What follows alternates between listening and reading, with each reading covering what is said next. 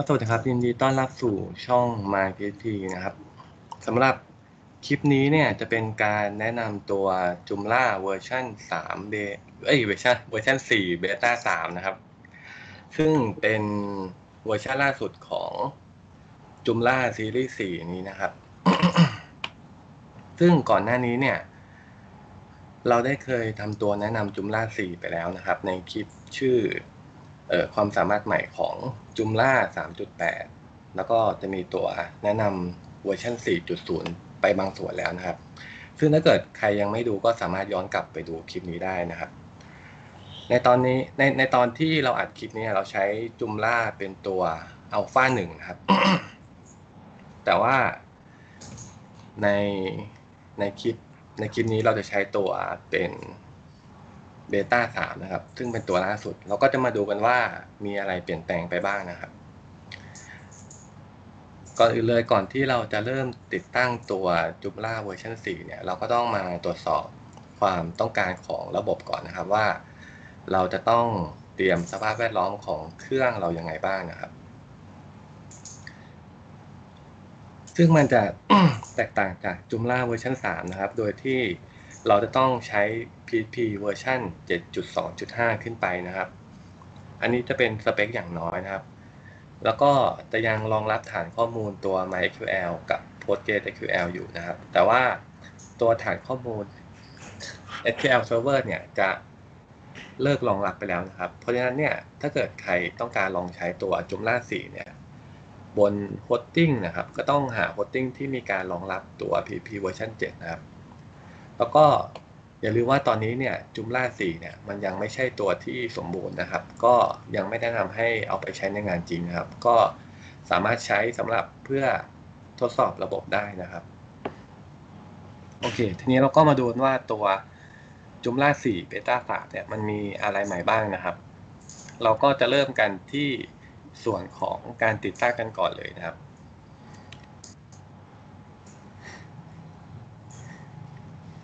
ซึ่งในส่วนของหน้าจอการติดตั้งเนี่ยมันก็จะมีการเปลี่ยนไปจากในเวอร์ชันก่อนหน้านี้นะครับ ถ้าเกิดใครเคยติดตั้ง Joomla ในซีรีส์3นะครับ พวก 3.x ต่างๆ เนี่ย มันจะมีช่องมีรายการต่างๆ ให้เรากรอกข้อมูลเยอะมากนะครับ ในเวอร์ชัน4เนี่ย มันก็จะปรับให้ช่องต่างๆ เนี่ยลดน้อยลงนะครับ แล้วก็ขั้นตอนในการ กรอกข้อมูลจะเหลือแค่เหลือแค่ 3 ส่วนนะครับ ก็คือในส่วนของชื่อชื่อเว็บไซต์นะครับ เลือกชื่อเว็บไซต์แล้วก็ภาษา ขั้นตอนต่อมาก็จะเป็นส่วนของข้อมูลเข้าสู่ระบบของแอดมินนะครับ แล้วก็ส่วนที่ 3 ก็จะเป็นส่วนเชื่อมต่อฐานข้อมูลแล้วนะครับ มันก็จะพยายามทำให้ผู้ใช้เนี่ยสามารถติดตั้งตัว Joomla ได้ง่ายขึ้นนะครับ ทีนี้ส่วนที่มัน แตกต่างจากใน Alpha 1ที่เคยรีวิวไปนะครับ ก็จะสังเกตว่าด้านล่างเนี่ย มันจะมีตัว connection encryption นะครับ ซึ่งเป็นตัว เรื่องมันจะเป็นเรื่องการเเข้ารหัสข้อมูลนะครับ เพื่อความปลอดภัยของตัว database นะครับ ซึ่งปกติมันก็จะอยู่ที่ตัว default ไว้นะครับ แต่ถ้าเกิดใครมีพวกติดตั้ง ASL หรืออะไรพวกนี้ มันก็จะสามารถเลือกเข้ารหัสตรงนี้ได้นะครับ มันก็จะมีเป็นแบบ one way กับ two way นะครับ ซึ่งถ้าเกิดเราเลือกแบบ one way หรือ two way เนี่ย เราก็ต้องระบุผ่านของตัว certificate file ด้วยนะครับ ซึ่งถ้าเกิดไม่ได้ใช้ความลับตรงนี้ก็ให้เลือกเป็น default ไปนะครับ แล้วก็กดติดตั้งไปนะหลังจากที่เราติดตั้งเสร็จแล้วเนี่ย มันก็ จะเป็นหน้าจอให้เราสามารถติดตั้งภาษาอื่นๆ เพิ่มเพิ่มได้นะครับ เพราะว่า Joomla เนี่ยมันรองรับหลายภาษา แต่ว่าในเวอร์ชันเบต้านี้เรายังไม่สามารถติดตั้งภาษาอื่นได้นะครับ แล้วก็มีการแจ้งคำแนะนำสำหรับการ config PHP เพิ่มเติมนะครับ แล้วก็ถ้าเกิดทุกอย่างเราปรับแต่งเรียบร้อยแล้วก็สามารถลบตัวโฟลเดอร์ installation แล้วก็ไปที่หน้าเว็บได้เลยนะครับ ในส่วนหน้าเว็บเนี่ยมันก็จะเป็น template ตัวใหม่นะครับ ก็จะไม่เหมือนในเวอร์ชัน3 นะครับ ตัวนี้เนี่ย Joomla จะเปลี่ยนมาใช้เป็น Bootstrap เวอร์ชัน4 นะครับ แล้วก็จะมีการตั้งโมดูลเริ่มต้นมาก็จะคล้ายๆกับเวอร์ชันก่อนหน้านี้นะครับ ก็จะมีฟอร์มเข้าสู่ระบบนะครับ แล้วก็มีส่วนของ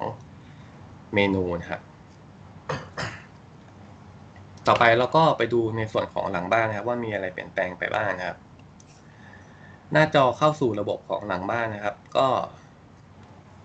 จะมีการปรับเปลี่ยนการแสดงผลนะครับ จากเดิมเนี่ยจะเป็นเหมือนฟอร์มเข้าระบบนะครับลอยๆอยู่ตรงตรงกลางของจอนะครับ อันนี้ก็จะมีการแบ่งพื้นที่ด้านซ้ายนะครับสำหรับแสดงข้อมูลต่างๆด้วยนะครับ ก็ทำดีไซน์ดีขึ้นนะครับ เค ต่อไปเราก็เข้าสู่ระบบเลยนะครับ โอเค อันนี้จะเป็นหน้า Control Panel นะครับของตัว Beta 3 นะครับ ก็มีการปรับเปลี่ยนไปเยอะมากนะครับ จากที่เคยรีวิวไปในตัว Alpha 1 นะครับ อันนี้จะเป็น Control Panel ของตัว Alpha 1 นะครับ มันก็จะ เออจริงๆ ส่วนประกอบอาจจะไม่ค่อยแตกต่างจากซีรีส์3มากนะครับพวกจุมจุมล่า 3.x แต่พอมาเบต้า3เนี่ยมีการเปลี่ยนเปลี่ยนไปเยอะมากนะครับ ก็จะมีการวางโมดูลแล้วก็ปุ่มต่างๆนะครับ เพื่อให้สามารถใช้งานส่วนต่างๆได้ง่ายขึ้นนะครับ ยกตัวอย่างนะครับ อย่างเช่นในส่วนของ user แล้วกันนะครับ ถ้าเกิดเราคลิกคลิกตรงไอคอน user เนี่ยมันก็จะเป็นการดูรายการ user ทั้งหมดนะครับ แต่ถ้าเกิดเราคลิกสัญลักษณ์บวกด้านหลังเนี่ยมันก็จะเป็นการเพิ่มข้อมูล user ใหม่นะครับโอเคแล้วก็จริงๆ พวกไอคอนพวกนี้เราสามารถที่จะเพิ่มหรือว่าลบออกได้นะครับ โดยที่มาที่ส่วนตั้งค่าตรงนี้นะมันจะมี edit อยู่ แล้วก็คลิกเข้าไป สมมุติว่าเราอยากให้มันแสดง ส่วนของ template ด้วยนะครับ เราก็คลิกตรงนี้ให้มันโชว์ในส่วนของ template ด้วยนะแล้วก็ save and close ไป ตรงนี้ก็จะมีไอคอนสำหรับลิงก์ไปส่วนของ template ได้ด้วยนะครับ แล้วก็นอกจากนี้เนี่ยเราสามารถเพิ่มโมดูลที่ใช้แสดงในส่วนของตัว panel ได้นะครับ ลงมาด้านล่างนะครับ จะมีตัว add module to the dashboard นะครับ พอคลิกเข้าไปเสร็จ เราก็จะสามารถเลือกโมดูลที่จะมาแสดงเพิ่มเติมในหน้านี้ได้นะครับโอเคทีนี้เนี่ยในส่วนของแท็กเมนูนะครับ จากเดิมเนี่ยในเวอร์ชัน3เนี่ยเมนูจะอยู่ด้านบนนะครับ ตอนนี้มันก็จะย้ายมาอยู่ด้านข้างแล้วนะครับ แล้วก็มีการจัดรายการ ของเมนูต่างๆ ให้มันน้อยลงนะครับ ให้ใช้งานดูง่ายมากขึ้นนะครับ ถ้าเกิดสังเกตตรงรายการเนี่ยมันจะมีไอคอน 2 ตัวอยู่ทางด้านซ้ายเมนูนะครับ อันแรกเนี่ยมันจะเป็นการแสดงว่ารายการนี้มีเมนูย่อยอยู่นะครับ ส่วนอีกอันหนึ่งที่เป็นลักษณะเป็นสี่เหลี่ยม อันนี้จะเป็นการคลิกเพื่อไปหน้า dashboard ของส่วนนั้นๆนะครับอย่างเช่นส่วน content เนี่ยถ้าเกิดเราจะไปหน้า dashboard ของมันก็คลิก มันจะมีหน้า dashboard ของมันต่างหากอีกทีหนึ่งนะครับ ซึ่งในหน้า dashboard เนี่ยเราก็สามารถเพิ่มโมดูลอื่นๆเข้ามาได้นะครับ ก็จะคล้ายกับหน้า Control Panel หน้าแรกเลย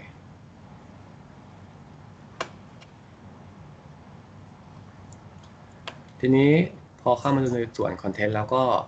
ลองมาดูในส่วนของหมวดหมู่นะครับ ว่ามีอะไรเพิ่มเติมมาบ้างนะครับ ก็ในส่วนของฟอร์มหมวดหมู่ ก็องค์ประกอบส่วนใหญ่จะคล้ายๆคล้ายๆเดิมนะครับ พวกฟิลต่างๆ ส่วนที่เพิ่มมาก็จะเป็นส่วนของ workflow นะครับ workflow ซึ่งก่อนหน้านี้เนี่ย ในช่องเคยทำคลิปอธิบายเกี่ยวกับตัว workflow ใน Joomla 4ไปแล้วนะครับ ก็สามารถย้อนกลับไปดูได้นะครับ แล้วก็ฟิลต่างๆ ก็ยังเหมือนเดิมนะครับ จะมีการเปลี่ยนแค่ตัว layout แล้วก็รูปแบบการแสดงผลนะครับ ทีนี้มาดูในส่วนของ editor นะครับ ก็จะเห็นว่า editor เนี่ยมันมีการปรับเปลี่ยนแล้วก็พวกปุ่มหรือว่าเครื่องมือที่อยู่ใน editor เนี่ยมันจะมีจำนวนน้อยลงนะครับ จริงๆแล้วเนี่ยเขาซ่อนไว้นะครับ เราสามารถกดดูทั้งหมดโดยคลิกที่ปุ่มด้านหลังนี้ครับ เพื่อดูปุ่มทั้งหมดของตัว Editor นะครับ แล้วก็ปุ่มที่พวกปุ่มพิเศษที่มันมาจากปลั๊กอินครับ มันจะถูกรวมไว้ในตัว CMS Content นะครับ เวลาที่เราไปลง extension เสริมที่มันจะมาเพิ่มปุ่มในตัว editor นะครับ มันก็จะมารวมอยู่ในนี้นะครับ ผู้ใช้ใหม่ก็อาจจะบางทีอาจจะเจอปัญหาหาปุ่มไม่เจอนะครับ ก็มาดูที่ตัว CMS Content หรือว่าในปุ่มด้านหลังนี้นะครับโอ เคต่อไปก็ไปดูในส่วนของ Article นะครับ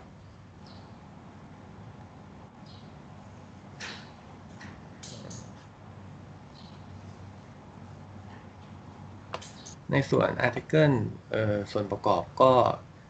จะคล้ายๆเดิมอยู่นะครับ พวกช่องข้อมูลต่างๆนะครับ ก็ยังไม่เห็นว่ามี ช่องหรือว่ามีฟีเจอร์อะไรเพิ่มเติมเข้ามานะครับ แต่ว่าถ้าเกิดเรากดกดบันทึกตัวบทความไปแล้วเนี่ย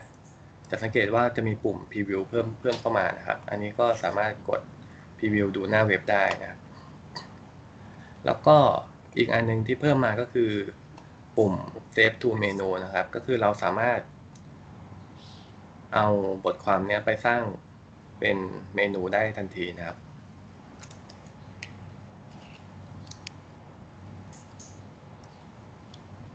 อ่า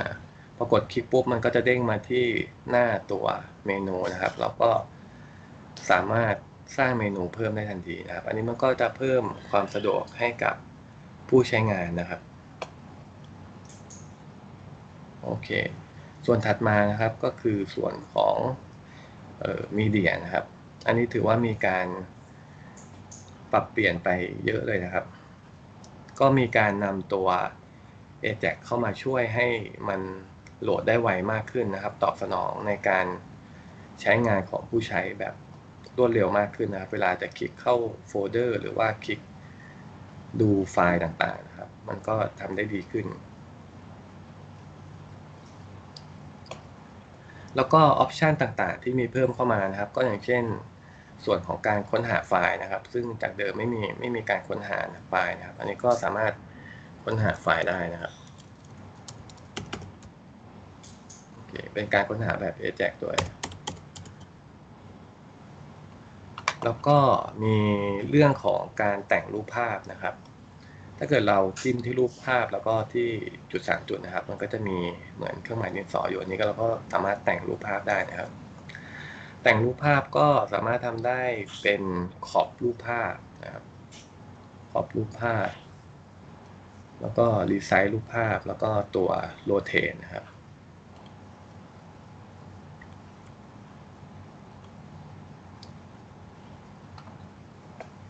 แล้วก็สามารถเปลี่ยนชื่อของไฟล์ได้นะครับ ก็คลิกที่สัญลักษณ์ตัวนี้ครับ มันก็จะเป็นการเปลี่ยนชื่อของไฟล์นะครับ แล้วก็มีปุ่มดาวน์โหลดภาพนะครับอันนี้เป็นปุ่มดาวน์โหลดภาพ แล้วก็สุดท้ายจะเป็นปุ่มแชร์รูปภาพนะครับ แล้วก็คลิกตรงนี้มันก็จะแสดงลิงก์สำหรับแชร์รูปภาพนะครับ เราก็สามารถคลิกตรงนี้ เพื่อ Copy ลิงก์ไปแปะ ที่อื่นได้เลยนะครับโอเค ต่อมาในส่วนของโมดูลนะครับ โมดูลเวลาที่เรากดคลิกสร้างโมดูลใหม่นะครับ เราก็จะเห็นว่า Layout มันเปลี่ยนไปนะครับ จากเดิมที่มันเป็นเหมือน list รายการเรียงลงมาข้างล่างครับ อันนี้มันก็จะทำเหมือนเป็นลักษณะของบล็อกนะครับ แล้วก็เราสามารถ search ตัวโมดูลได้นะครับ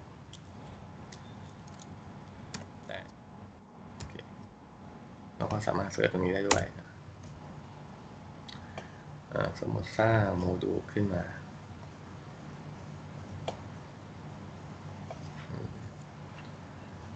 ในหน้าฟอร์มของโมดูล อันนี้ส่วนใหญ่ก็จะยังเหมือนเดิมอยู่นะครับ พวกออปชันต่าง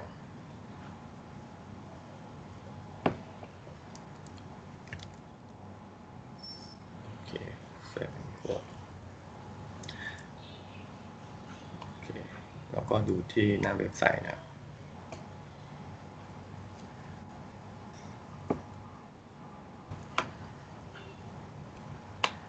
โอเคเลือกตำแหน่งอะไรนะ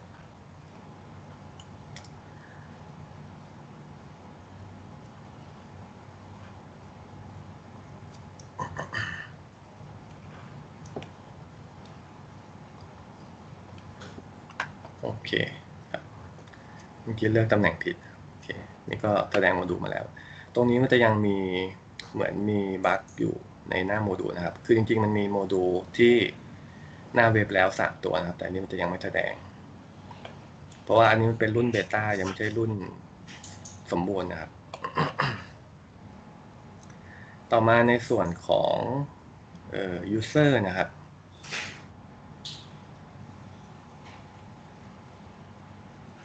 ในส่วนของผู้ใช้เนี่ยส่วนที่ เพิ่มเข้ามาที่เห็นได้แล้วคือก็คือในส่วนของ permission นะครับ อันนี้เนี่ยเราสามารถคลิกดูได้ว่า user คนนี้เนี่ยมีสิทธิ์ทำอะไรได้บ้างนะครับ อย่างเช่น admin อันนี้เราก็เห็นว่าในส่วนของ component ต่างๆ เนี่ยเขามีสิทธิ์เอ่อเพิ่มลบแก้ไขหรือว่าทำอะไรได้บ้างนะครับ ซึ่งในเวอร์ชั่นก่อนหน้านี้เนี่ยจะไม่มีแสดงตรงนี้ อันนี้ก็เพิ่มเข้ามา แล้วก็ในหน้าฟอร์มของ User นะครับ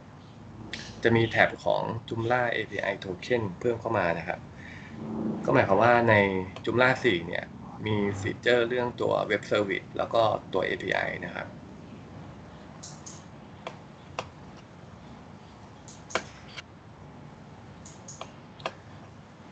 แล้วก็อีกส่วนหนึ่งที่สังเกตว่ามันมีเพิ่มเข้ามาก็คือ อันนี้ส่วน System นะครับ จะมีเรื่องของ Mail Template เพิ่มเข้ามา ก็จากเดิมที่ระบบของจุมนาส่งเมลออกไป เราไม่สามารถแก้ไขตัวข้อมูลในอีเมลที่ส่งไปได้นะครับ อันนี้เราก็สามารถแก้ไขข้อมูลอีเมลที่ส่งให้ตัว User ได้แล้วนะครับ สมมติเราจะแก้เมลที่ส่งตอนที่สมัครสมาชิกใหม่นะครับ เราก็มาคลิก อันนี้จริงๆมันจะมีให้เลือกภาษาอีกทีนะครับ อันนี้จะมีตัวอย่างภาษาอังกฤษอยู่ ก็คลิกเข้าไป อันนี้มันก็จะเป็นการแก้ ชื่อชื่อหัวข้อ แล้วก็เนื้อหาในเมลนะครับ ตอนแก้เราก็กดข้างหลังครับเพื่อแก้ไข อันนี้มันก็จะแสดงตัวแปรที่เราสามารถเอามาใช้ในตัว email template ได้ เราแก้อะไรเสร็จเรียบร้อยเราก็กด save ไปนะโอ